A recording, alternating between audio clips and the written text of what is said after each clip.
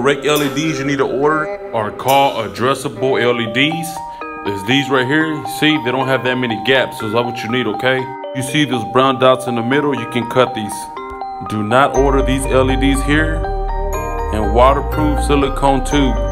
You see that plastic around it, they're too fat. It's not going to fit with the chemical. These LEDs I'm using here on the video are not the correct ones. So anyways, if you do not want to install LEDs on your logos, it look like this, okay? And they still look good. If you want LEDs, they're gonna look like this. I hope you like the video. Leave a comment if you like, if you have any questions.